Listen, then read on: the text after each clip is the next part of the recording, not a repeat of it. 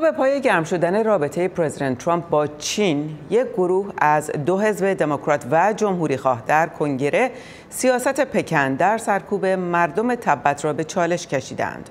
نانسی پلوسی رهبر اقلیت دموکرات در مجلس نمایندگان در دیدار از هند به معبد بزرگ بودایان در دارامسالا رفت و دالایلاما رهبر روحانی مردم تبت را مورد خطاب قرار داد.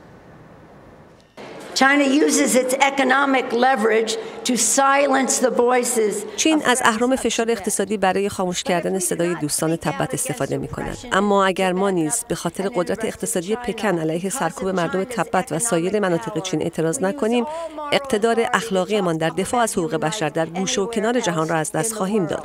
ما خاموش نخواهیم شد. شما خاموش نخواهید شد.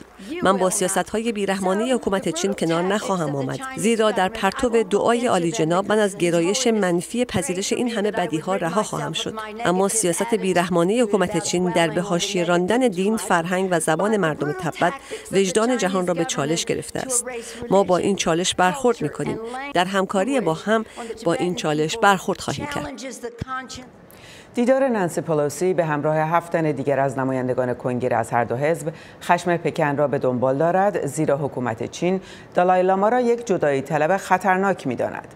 این دیدار خوشایند پرزیدنت ترامپ هم نخواهد بود زیرا در نظر دارد با گرم کردن رابطه با پکن بر کره شمالی در برنامه موشکی و تسلیحات اتمی فشار بیاورد.